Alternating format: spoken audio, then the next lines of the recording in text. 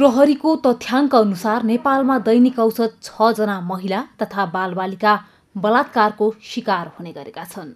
अझ पछिल्लो पाँच वर्षको तथ्याङ्कलाई आधार मान्ने हो भने प्रहरीमा दर्ता हुने बलात्कारका उजुरीको चाङ पत्याउनै नसक्ने गरी उकालो लागेको छ।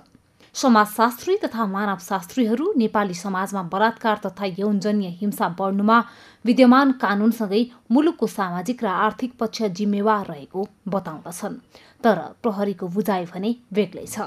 प्रविधि र जनचेतनाको विकाससँगै प्रहरीसम्म उजुरी दर्ता गर्न जानेको संख्या बढेकाले बलात्कारजन्य घटनाको आँकडा बढी देखिएको प्रहरीको अनुमान छ। कतिपय अवस्थामा चाहिँ चेतनाको कमीले प्रहरीसम्म आइ नै नपुग्ने अवस्था थियो भने अहिले मिडियाको चाहिँ गाउँ गाउँसम्म पहुँच यसै गरी विभिन्न सङ्घ संस्थाका जनचेतनामूलक कार्यक्रमहरू नेपाल प्रहरीको चाहिँ अवेरनेस प्रोग्रामहरू यी सबैको कारणले गर्दाखेरि चाहिँ अब जुन केसलाई लुकाउने प्रवृत्ति थियो त्यो प्रवृत्ति चाहिँ न्यूनीकरण धेरै न्यूनीकरण भएर चाहिँ अहिले प्रहरीकोमा आइपुगेकोले एउटा कारण यो दर्ता चाहिँ अलिक बढी देख्नु एउटा कारण यो भने अर्को कारण चाहिँ अहिले यो रेप चाहिँ एउटा सामाजिक अपराधको रूपमा चाहिँ सामाजिक विकृतिको कारणले सिर्जित अपराधको रूपमा चाहिँ स्थापना भएको छ।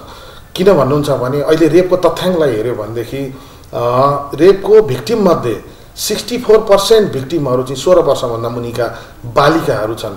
बढ्दो जनचेतनाकै कारण अहिले सामाजिक अपराधका जस्तोसुकै घटना आम सञ्चार अथवा सामाजिक सञ्जालबाट बाहिरिने गरेका छन्।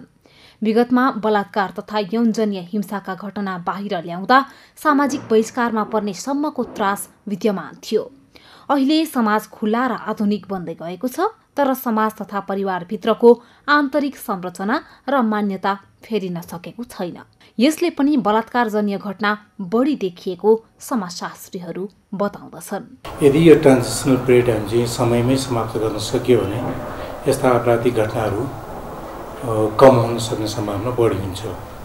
र अहिले हाम्रो समाजको संरचना हेर्ने भने सांस्कृतिक संरचना हेर्ने भने अहिले क्रमशः चाहिँ बन्द सामाजिक सांस्कृतिक प्रणालीबाट अहिले खुला सामाजिक सांस्कृतिक प्रणालीमा चाहिँ रूपान्तरण हुन गइरहेको अवस्थामा यस्ता अपराधका घटनाहरू बढ्नु लगभग स्वाभाविक जस्तै देखिन्छ।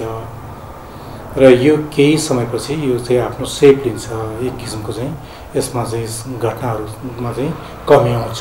प्रहरीको तथ्याङ्क अनुसार चालु आर्थिक वर्षको माघ महिना अर्थात् सात महिनाको अवधिमा प्रहरी समक्ष बाह्र सय चौरात्तरवटा जबरजस्तीकरणीका उजुरी दर्ता भएका छन् जसबाट धेरै बालिकाहरू प्रभावित छन्। क्यामेरामा आर्यन खड्काको साथमा समीक्षा आचार्य काठमाडौँ।